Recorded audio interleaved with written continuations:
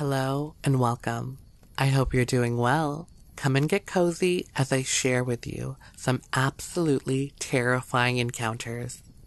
I post new videos every day, so be sure to hit that subscribe button and the notification bell, and you'll be notified when new daily content arrives on my channel. Alright, let's get right into it.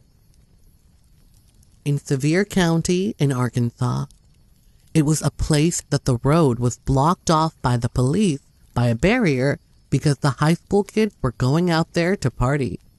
It was about halfway between DeQueen and DeQueen Lake. Let me start by saying that I hesitate to tell my story, but I need to.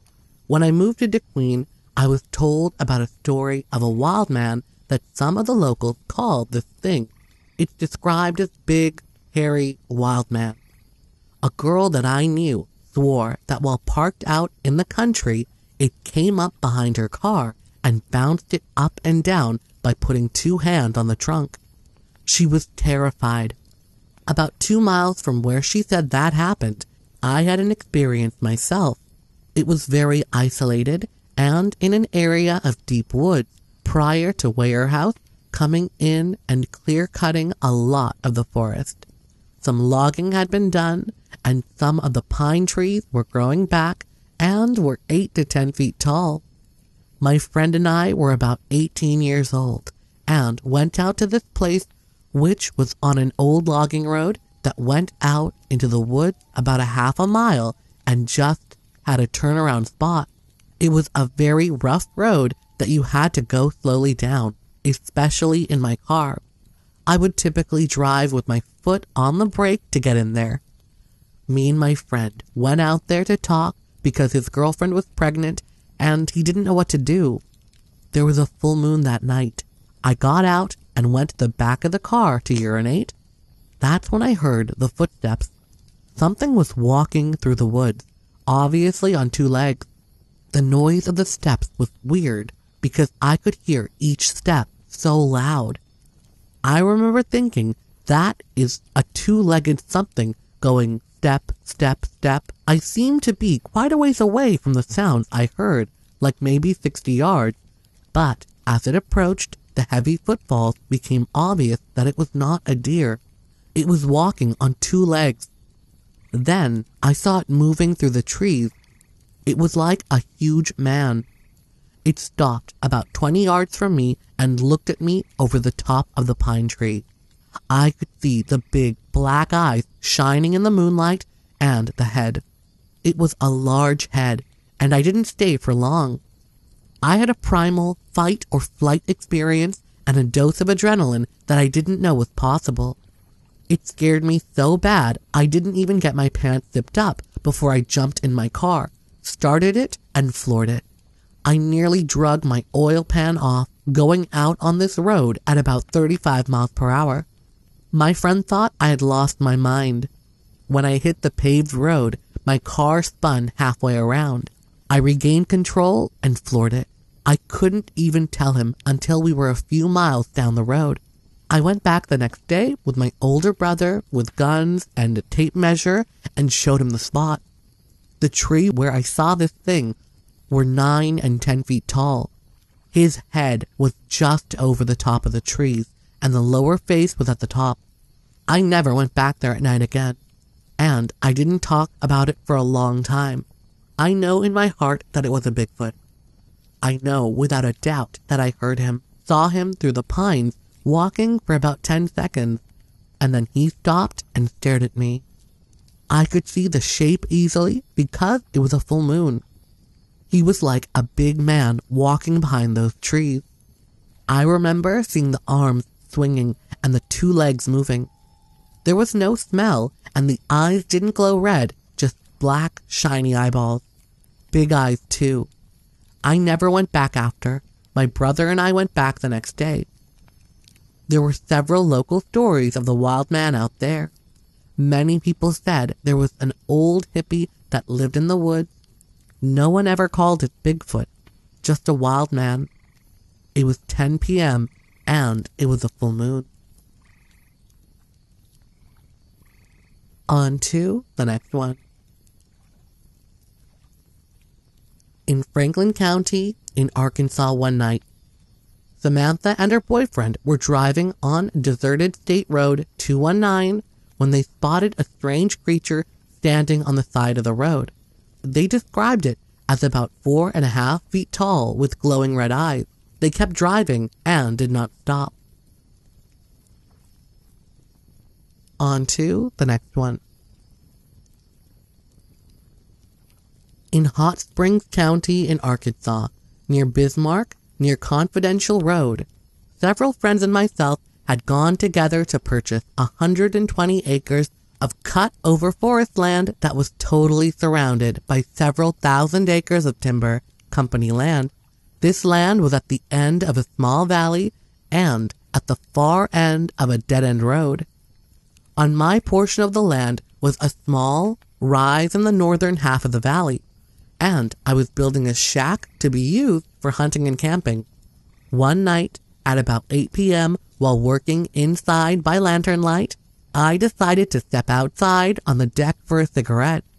As soon as I lit my lighter, a roaring, crackling scream commenced from the slope of the ridge to the south about 300 yards away, but in direct line of sight. I was too startled to do anything but stay rooted to the spot and feel the hair stand on the back of my neck. Something which hasn't happened to me in years. While the scream lasted only a couple of seconds, it seemed to go on much longer. Since it was very cloudy and dark, I ran inside for a flashlight, all the while wishing I had brought my rifle inside from the truck. With a flashlight and a hatchet, I headed for the truck, only to find that the truck itself seemed to be moving. In the bed of the truck, I found my German Shepherd. I had forgotten all about him, curled in a tight ball in the corner and shaking so hard he was moving the whole truck. We left immediately. Several nights later, one of the friends who had laughed at me when I told the story came out to see how I was progressing with the shack.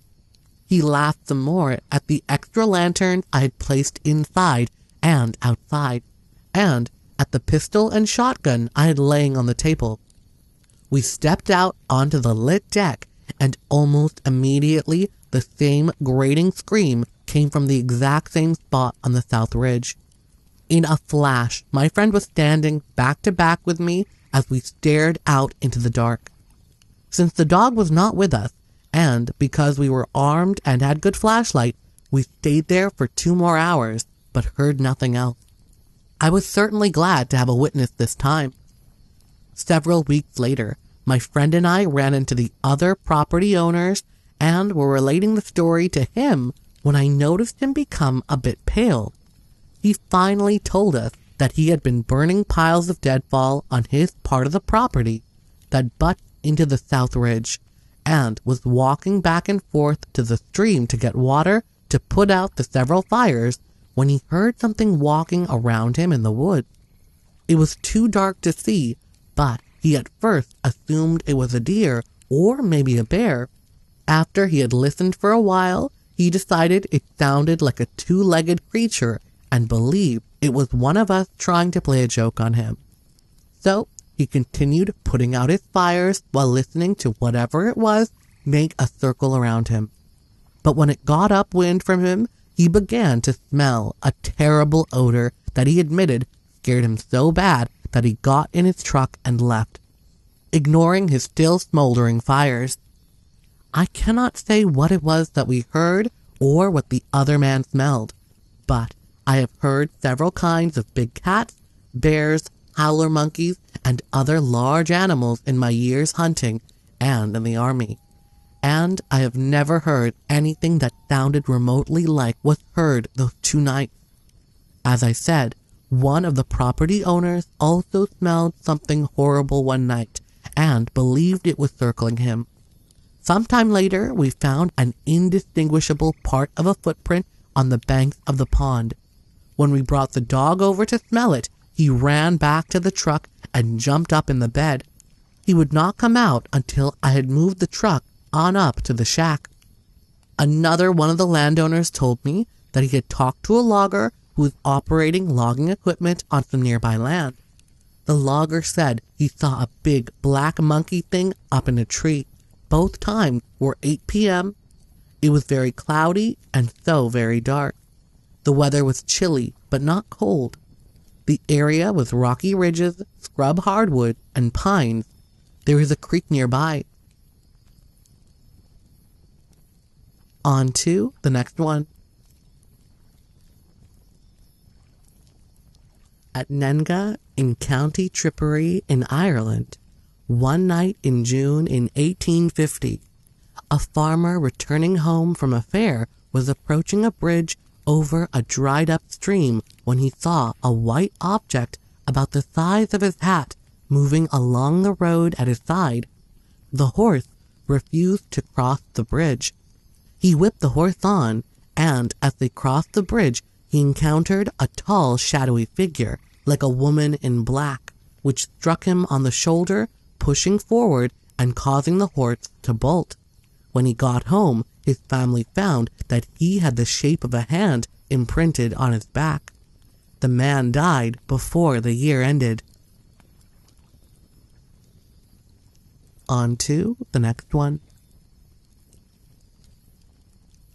In the vicinity of the Bay of Kinsale near Old Kinsale Head in County Cork in Ireland, during late August of 1850, there were several sightings of an enormous sea serpent.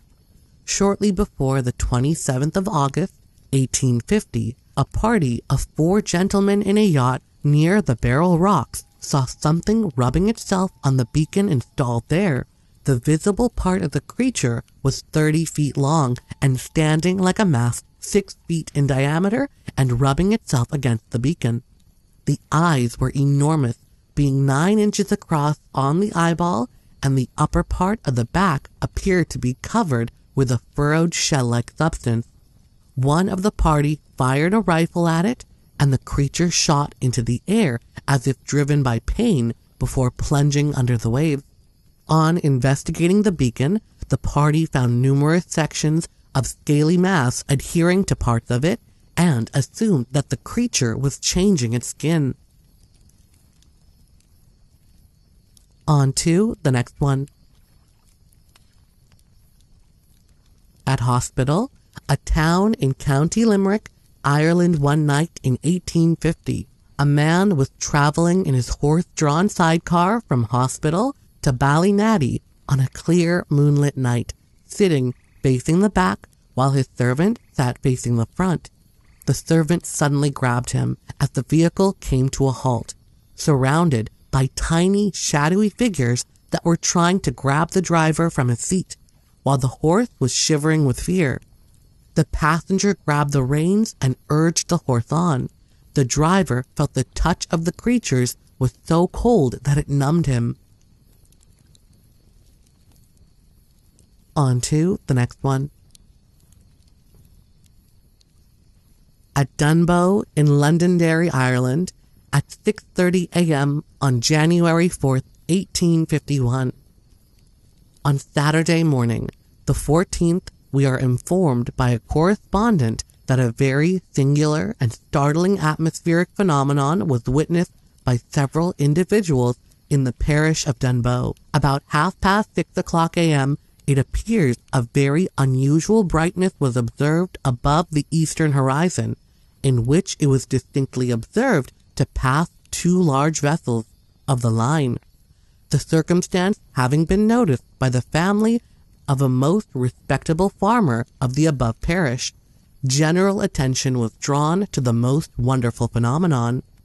After a short period, the vessels disappeared, and the eastern hemispheres became preoccupied by a grand panorama representation of two armies approaching in warlike conflict.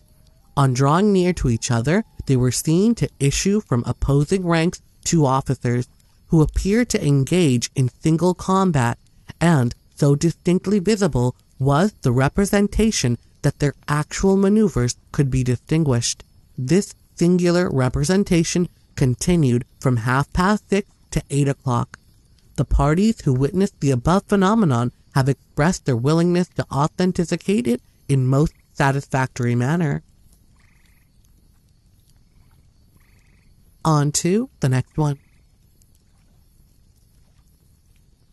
One afternoon in summer of 1853 in County Donegal, Ireland, 73 year old Neil Colton claimed that as a youth he had a rather strange and frightening fairy encounter indeed.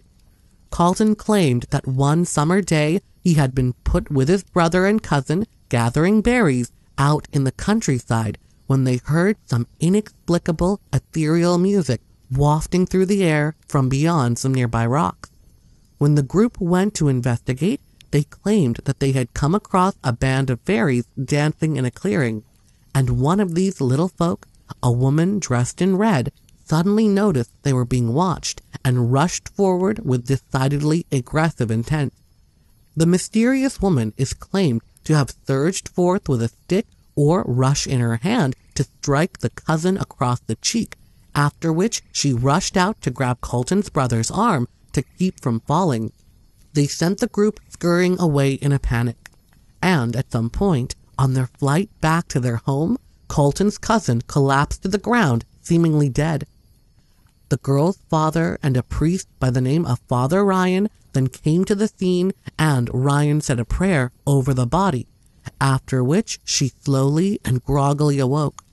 The priest would come to the conclusion that it had only been her grabbing Colton's brother that had kept her from being taken by the fairies forever. On to the next one.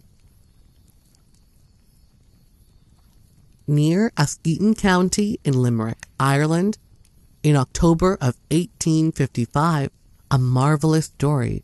We have been informed by what exact amount of credibility we should give to the statement we are not prepared to say that in the progression of the formation of the Foynes Railway, some laborers discovered at a small distance beneath the surface of the earth within about two miles of Askeaton a gigantic skeleton 11 feet in length. Beside the remains was found a vessel, which an inscription on it indicated that something would be found by digging deeper. Following this intimation, they uncovered something resembling a bottle inscribed with a legend which directed the three drops of its contents should be poured into the mouth of the skeleton, whereupon its owner would come to life again. Although much doubting, they followed the instructions, but on letting the second drop into the mouth, the skeleton began to stir, upon which the men became so frightened that they took flight, expecting as they ran to be persuaded by the half resurrected giant. The report of this strange story caused such sensation in the neighborhood that police had to close up the grave, and thus the old giant has been once more confined to his long slumber of many ages. On to the next one. On the 2nd of August, 1865, a thunderstone fell from the sky onto Cashel, Tipperary, Ireland. This triangular stone was black and marked by straight lines as perfect as if they were made by a ruler. The stone was in the shape of a rounded edged pyramid. The stone's origin is unknown, though there were enough witnesses to attest that it made its initial appearance from the sky. On to the next one. In Dublin, Ireland, on the 9th of May, 1867, several policemen and bystanders were puzzled by a fall of strange nuts or berries that fell, hitting the witnesses, including police, during a storm. There were strange nuts or berries and were of an unknown type about half an inch across and dark brown and spherical like hazelnuts. They had a slightly aromatic odor and seemed fossilized and fell with great force. On to the next one.